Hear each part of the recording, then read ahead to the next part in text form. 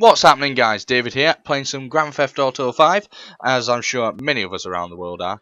Um, yeah. I don't know what this is, it's not so much an easter egg, and it's not really a secret, but it's something cool that I wanted to show you all.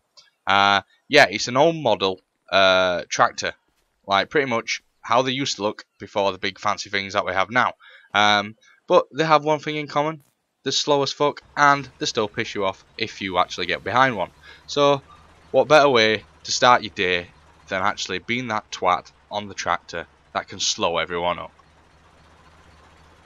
So yeah, the tractor itself pretty much has no great use. It's just for those people out there that enjoy the little uh, little things in life like this. And uh, well, yeah, if you want to find it yourself, guys, it's pretty much at the top, uh, the middle east of the map.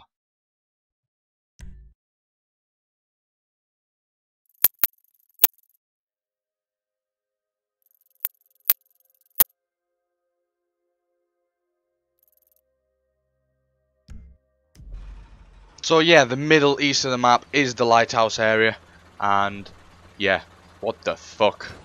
Right, I'm having a drag race with, well, I'm not actually sure what that is, some sort of animal. Yeah.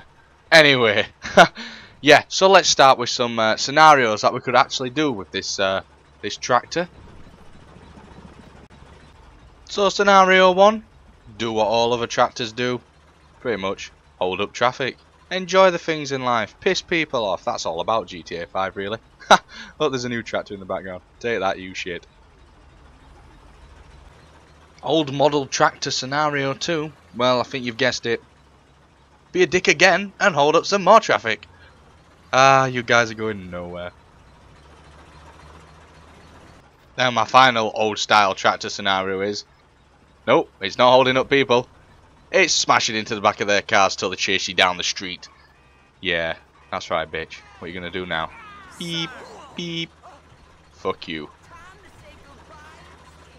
And I think we all know the majority of the time tractors are used on farms. And well, fruit and veg are grown on farms. So let's get one of us five a day.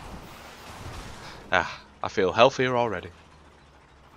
So yeah guys, there it is. That's a really cool location uh, for a really cool uh, vehicle in uh, GTA 5 and if you'll excuse me one second this bitch is starting to annoy me. Good night. Yeah you're dead.